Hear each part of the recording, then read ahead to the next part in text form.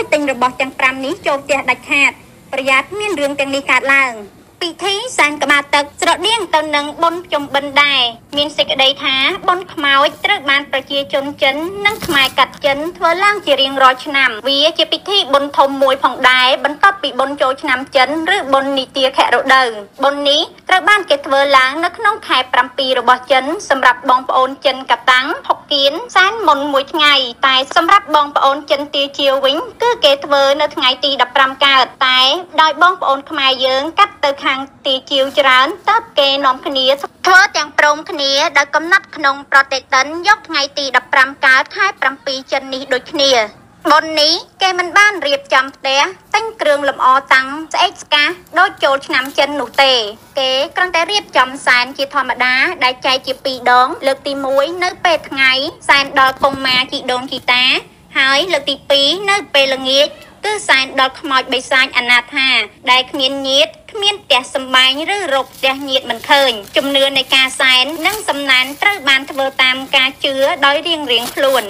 គ្រួសារខ្លះ គេសែនផ្លែឈើនំនេកពីព្រឹកហើយពេលថ្ងៃត្រង់សែនបាយសម្លម្ដងទៀតក៏សន្មត់ថាចប់ដោយមិនសែនពេលល្ងាចនោះទេ តែគ្រួសារខ្លះក៏សែនល្ងាចម្ដងទៀតតាមជំនឿនិងធនធានដែលខ្លួនមាន បន្ទាប់ពីការសែនព្រេនរួចហើយគេនៅមានដុតបូជាក្រដាសសែនផ្សេងផ្សេងមានលុយមាសប្រាក់សម្លៀកបំពាក់និងគ្រឿងសែនក្រដាសផ្សេងផ្សេងទៀតមានតាំងពីប៉ាសពតវីសា អាសម្បត្តិយន្តហោះរថយន្តផ្ទះឡាក់ហើយសុំផ្សងមកវិញនៅពោជ័យសុខសប្បាយនឹងរកស៊ីមានបាន ក្នុងជំនឿជនជាតិចិន ខែ7នេះគឺជាខែខ្មោចដូច្នោះហើយគេហាមដាច់ខាតអន្លង់ខែនេះមិនត្រូវធ្វើដំណើរទៅឆ្ងាយចុះចូលផ្ទះសម្បែង ទិញផ្ទះបើកហាងលក់ដូរនិងអាជីវកម្មជាដាច់ខាតព្រោះវាអាចនាំមកនៅរឿងមិនល្អសម្រាប់អាជីវកម្មនិងគ្រួសាររបស់គេទាំងនេះសុទ្ធតែជាជំនឿមួយក្នុងចំណោមជំនឿចិនដែលมันមានចែងក្នុងច្បាប់ក្រមទំនៀមទម្លាប់ខ្មែរនោះទេតែដោយហេតុថាស្រុកខ្មែរយើង មានចម្រុះជនជាតិជំនឿសាសនា និងអបិយជំនឿរដ្ឋាភិបាលមិនបានហាម ឃាត់នោះឡើយវាក៏ជារឿងល្អមួយដែរក្នុងការរៀបចំឲ្យមានស្ថិរភាពសង្គមនិងសន្តិសុខម្យ៉ាងវិញទៀតវាក៏ជាថ្ងៃដែលបងប្អូនញាតិមិត្តបានជួបជុំសែនព្រេន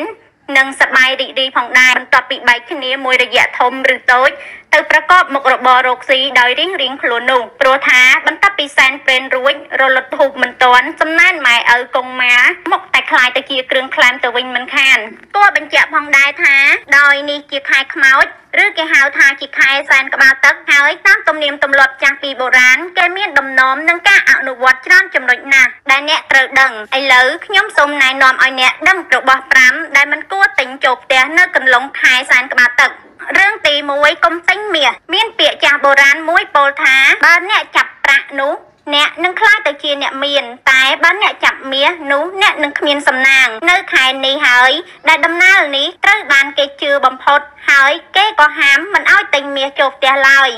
មាសប្រៀបដូចជា វិញ្ញាណអាក្រក់នៅខែនេះដែលនាំឲ្យម្ចាស់ខាត់ប្រយោជន៍ហើយធ្វើឲ្យការបម្រើការងារផ្សេងផ្សេងមានការលំបាកនិងមានបញ្ហារាំងស្ទះកុំទិញរថយន្តអ្នកដែលទិញរថយន្តនៅខែនេះតាមក្បួនអាចប្រឈមនឹងការប៉ះពាល់ដល់បញ្ហាសុខភាព និងអាយុជីវិតរបស់អ្នកបាន ចំណុចទី3កុំទិញកញ្ចក់ឬកែវបើតាមក្បួនហុងស៊ុយកញ្ចក់ ត្រូវបានគេតំណាងជារបស់ឆ្លុះទៅក្រោមដី ដែលអាចមើលឃើញវិញ្ញាណអាក្រក់នៅយប់អាត្រាតខែនេះជាខែដែលប្រលឹងវិញ្ញាណចេញមកហើយនាំឲ្យអាចជួបសំណាងមិនល្អដល់សមាជិកគ្រួសារកុំទិញសម្លៀកបំពាក់សម្លៀកបំពាក់ជារបស់ដែលងាយនឹងឲ្យខ្មោចចូលលាក់វិញ្ញាណបង្កទៅជាបញ្ហាដល់ការរស់នៅប្រចាំថ្ងៃ គេណែនាំមិនឲ្យទិញសម្លៀកបំពាក់នៅខែនេះទេ ហើយបើចាំបាច់គួររៀបចំទិញឲ្យបានមុនឬក្រោយខែសែនក្បាលទឹកកុំទិញរបស់ជជុះរបស់ជជុះឬរបស់មួយទឹក ដែលប្រើប្រាស់ពីគេក៏គេមិនឲ្យទិញ